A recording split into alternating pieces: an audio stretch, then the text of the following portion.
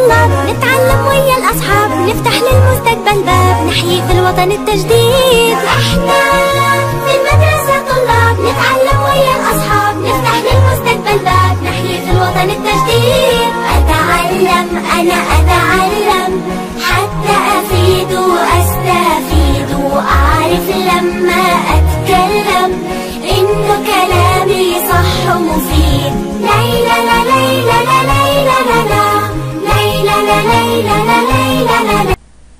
بسم الله الرحمن الرحيم. مدارس ابن خلدون التعليمية. الفرع ابتدائية الياسمين. الصف الرابع الابتدائي. المادة لغة الجميلة.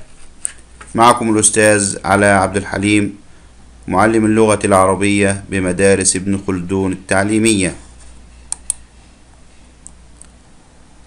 نبدأ سويا بدراسة النص الشعري. أرباب الحرف. نتعرف أولا معنى أرباب. أرباب بمعنى أصحاب. والحرف بمعنى المهن. كلمة أصحاب من يضعها في جملة؟ أحسنت يا نواف. نحن أرباب المنزل أي نحن أصحاب المنزل. نريد جملة أخرى للمؤنث. أحسنت يا نايف. هذه ربة المنزل. وهذه ربة المنزل أي صاحبة المنزل. أحسنت يا محمد. ما معنى الحرف؟ الحرف بمعنى المهن.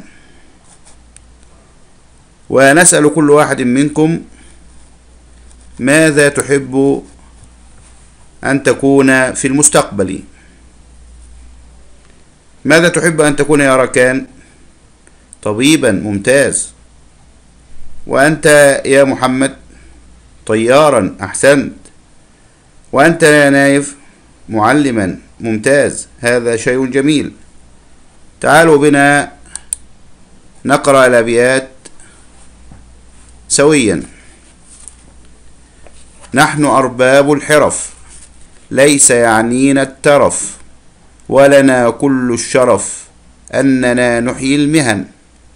نحن أهل للبراعة في أساليب الصناعة ولنا في كل ساعة نهضة في كل فن. فضل صناع البلاد كل يوم في ازدياد ولهم في كل واد حسنات وامنا.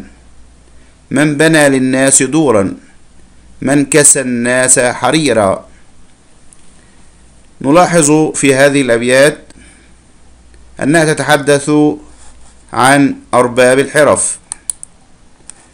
ومن خلال هذا النشيد يمكننا أن نستمع جيدا إلى نحن أرباب الحرف. ليس يعنينا الترف ولنا كل الشرف أننا نحيي المهن نحن أهل البراء في أساليب الصناعة ولنا في كل ساعة نهضة في كل فن. فضل صناع البلاد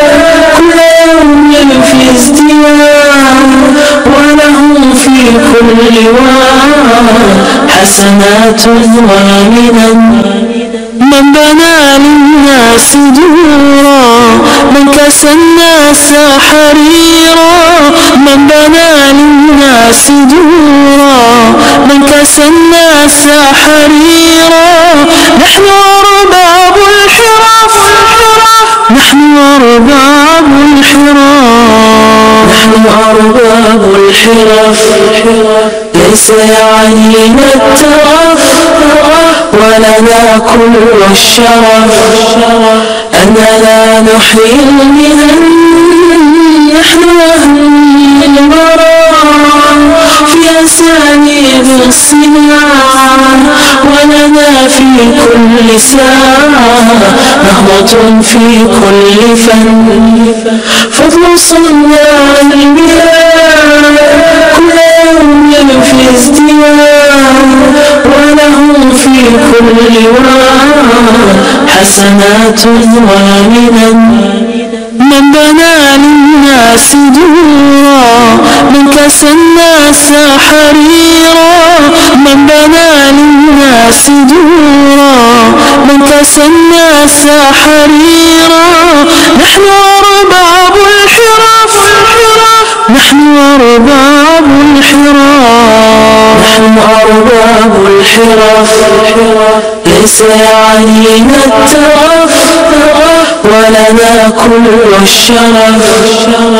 أننا نحيي المهن نحن أهل البراء في أساليب الصناعة ولنا في كل ساعة.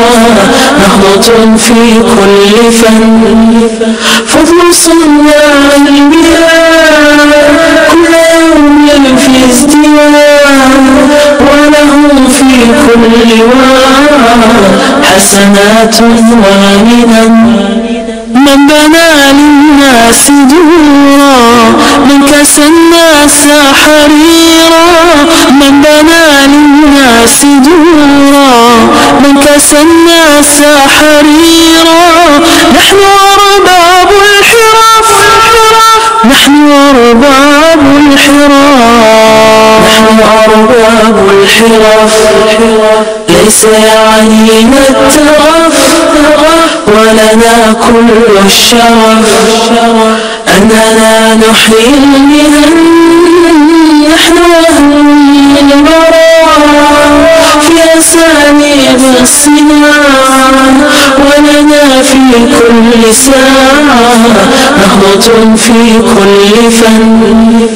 فضل صناع البلاد كل يوم في ازدياد وله في كل واد حسنات ومنن من بنى للناس دورا من كسى الناس حريرا من بنى للناس دورا.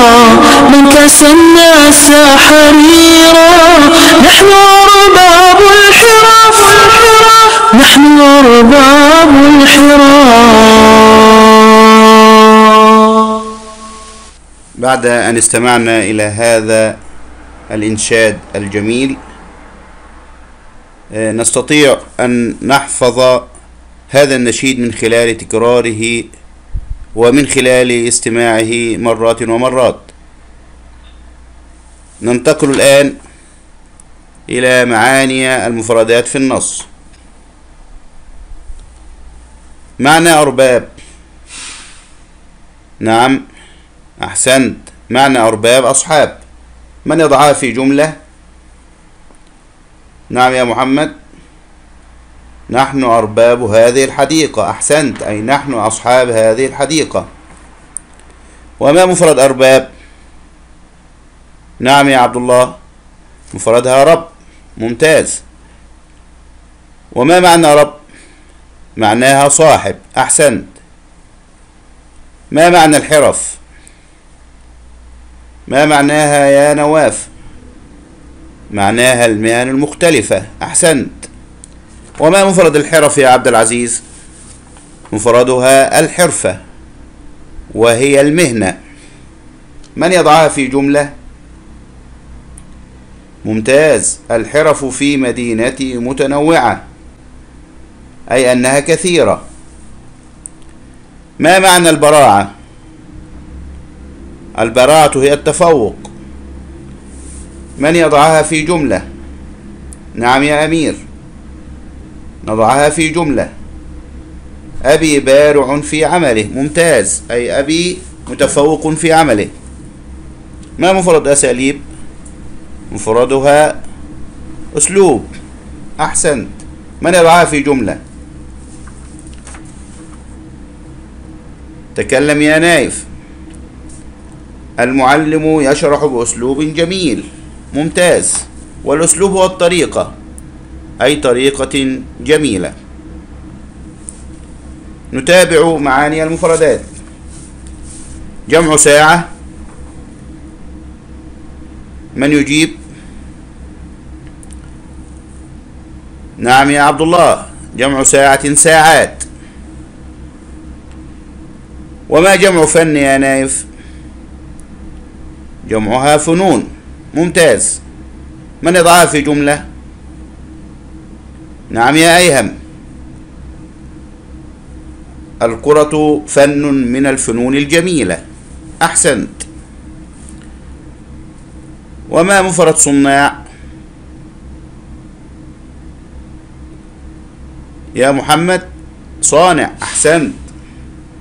من يضعها في جملة؟ أحسنت يا أيهم. الصناع في بلدي كثيرون. وما مفرد البلاد؟ من يجيب؟ محمد.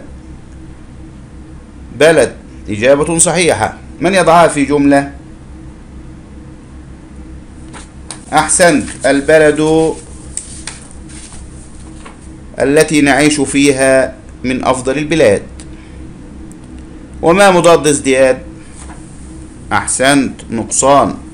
من يضعها في جملة؟ الإيمان يزيد وينقص. ممتاز. وما جمع وادي؟ أودية.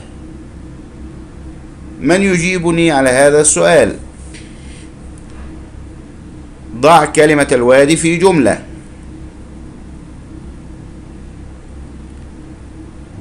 أحسنت يا عبد الله. دخلنا في واد كثير الأشجار والوادي هو المكان. نتابع معا معاني المفردات. مفرد حسنات. حسنة أحسنت. من يضع في جملة؟ للمؤمن حسنات كثيرة. ممتاز. وما معنى منن المنن هي العطايا. من يضعها في جملة؟ أحسنت. الله عز وجل له المنن الكثيرة.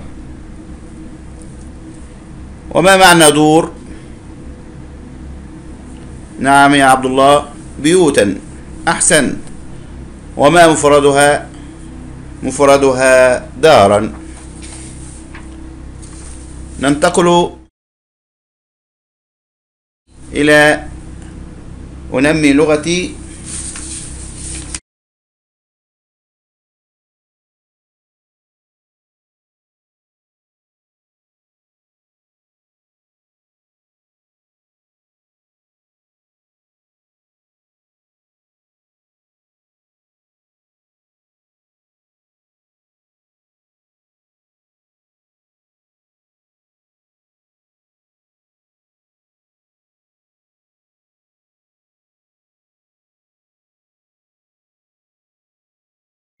بداية من يختار لكل كلمة في ألف المعنى المناسب لها في باء؟ ما معنى كلمة أرباب؟ معنى كلمة أرباب ماذا تعني؟ كما شرحنا في بداية الدرس. أحسنت يا أيهم أرباب بمعنى أصحاب. وما معنى الحرف يا فهد؟ أحسنت يا فهد. وما معنى كلمة يعنينا؟ أحسنت يا عبد الله يهمنا ممتاز.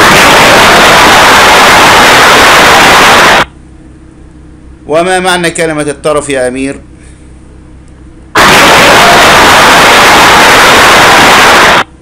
وما معنى كلمة البراءة يا محمد؟